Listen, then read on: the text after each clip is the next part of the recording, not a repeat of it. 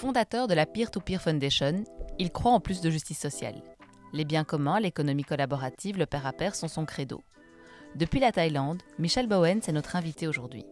Bonjour Michel Bowens. Bonjour Virginie. Quel est l'état de la situation en Thaïlande et comment le vivez-vous personnellement?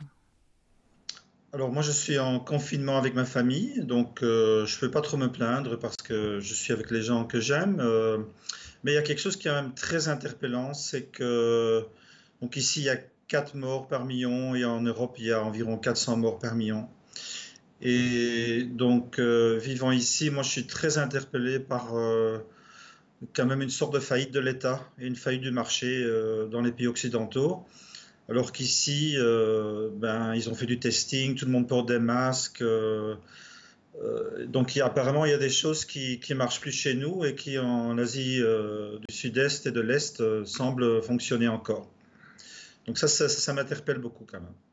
Face à cela, Michel Bowens, quel regard portez-vous sur l'impact de la crise du Covid-19 pour celles et ceux qu'on appelle les freelance Oui, alors Bon, moi, je suis déjà très sensible à ce sujet parce que je suis freelance moi-même et donc euh, on vit quand même dans la plupart de nous dans une sorte d'insécurité permanente.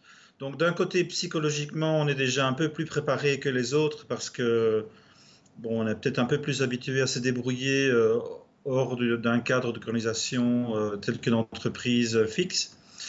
D'un autre côté, on voit quand même bien aussi que le système de sécurité sociale euh, n'est pas idéal pour, euh, pour, pour, ce genre de travailleurs que nous sommes, et on représente quand même entre 10 et 40% euh, des travailleurs dans les pays occidentaux.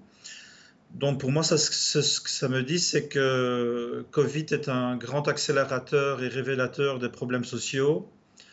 Et on va vraiment devoir repenser la sécurité sociale pour qu'elle devienne quelque chose qui est égal pour tous et qui, peut aussi euh, nous aider. Parce que quand même la grande différence euh, entre les États-Unis et l'Europe, c'est quand même qu'on a une sorte de sécurité sociale qui n'est pas totalement détruite. Donc on a encore plein d'avantages euh, qui nous permettent quand même de vivre un peu mieux cette crise. Alors justement, en quoi le père à pair peut-il apporter des solutions pour ces travailleurs et ces travailleuses? Alors ce que, ce que le pair à pair euh, nous apporte, c'est cette liberté de connexion, de s'auto-organiser et même de créer des nouveaux circuits de valeur euh, en dehors, on va dire, de l'économie dominante.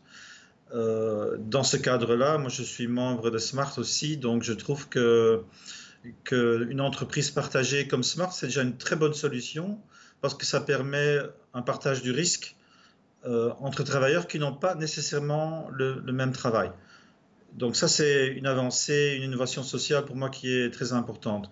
Mais je dirais que ce qui est vraiment, ce qui compte pour moi, c'est pas seulement nous protéger nous, mais changer la société.